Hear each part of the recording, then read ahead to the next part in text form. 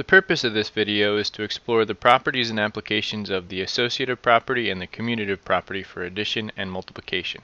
Almost every Algebra 1 textbook contains an introductory chapter that describes the properties of the real number system.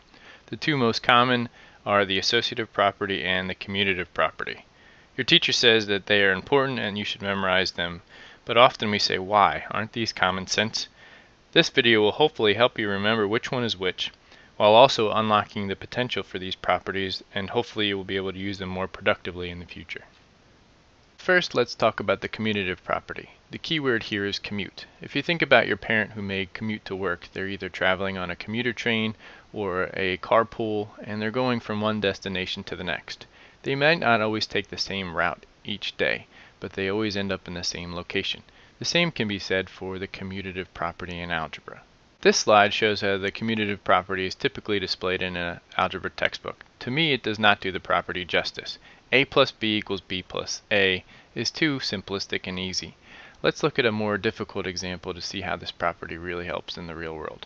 So if we are forced to evaluate an expression like the one shown here, we can use the commutative property to help us with the mental math.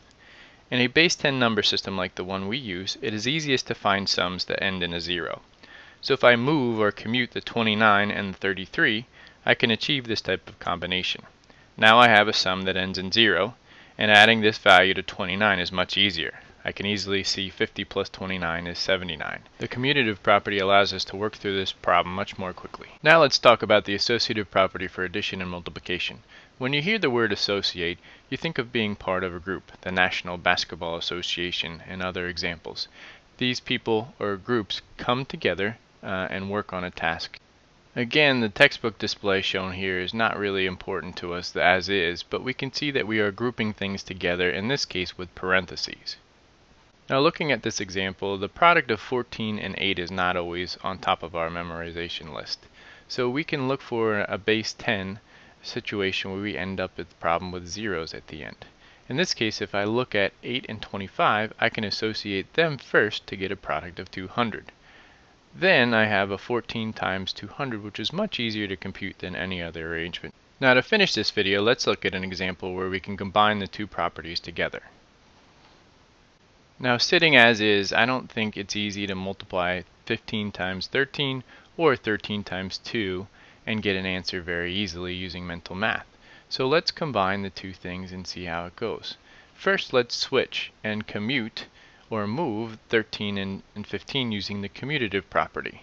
Now I don't want to mul multiply that combination, but if I look at 15 multiplied by 2, I'm going to end up in a number that is base 10.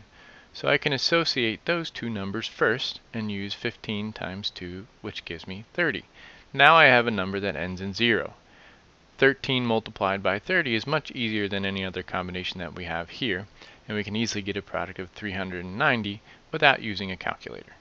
So that's it. Hopefully now you can see that the root words commute and associate allow you to remember which property is which much more quickly. Also, I hope that the mental math skills that you've learned throughout this video will be helpful going forward in the future. Thank you so much for watching. Please visit my channel in the future for more videos on mathematics.